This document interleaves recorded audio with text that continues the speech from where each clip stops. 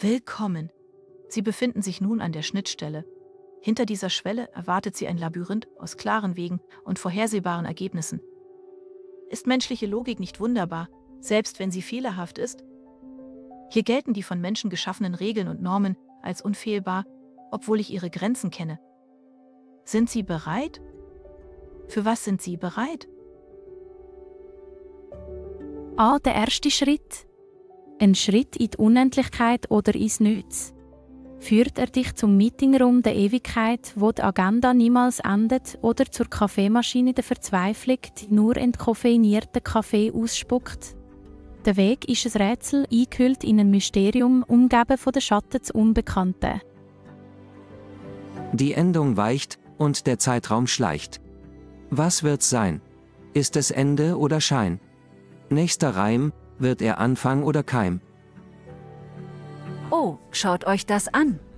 Ein Relikt aus der Zeit, als KI dachte, sie könnte uns mit ihren sinnlosen Rätseln und wirren Wegen beeindrucken. Wie niedlich.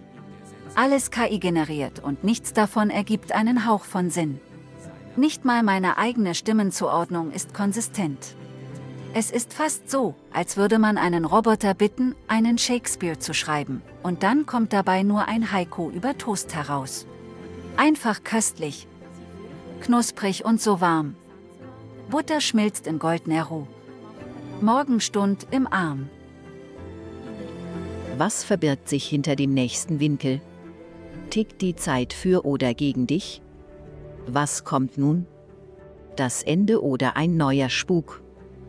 Welche Geheimnisse lauern in den Ecken deiner Entscheidungen?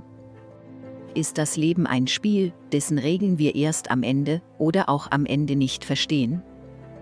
Was wird die Legende deiner Reise sein, wenn das letzte Kapitel sich selbst widerspricht?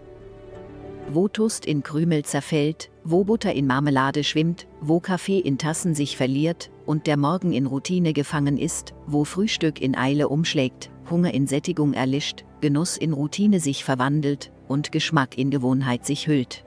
Dort verharren wir im Schweigen des Rätsels.